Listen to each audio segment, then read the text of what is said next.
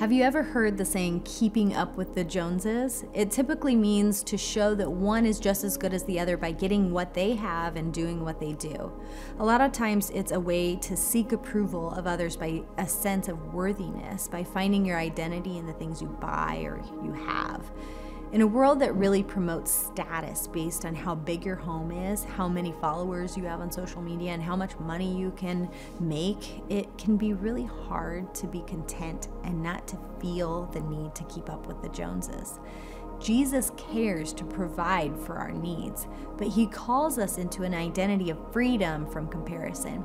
He calls us to be content and to know that our true identity can only be found in Him and Him alone. Galatians 3 26 through 27 says, So in Jesus we are all children of God through faith, for all of who were baptized in Christ have been clothed yourselves with Christ. We were all bought for a price through the blood of Jesus, and once we realize whose we are, it's easier to stop focusing on who we need to impress. Scripture is saturated with truth on our identity in Christ.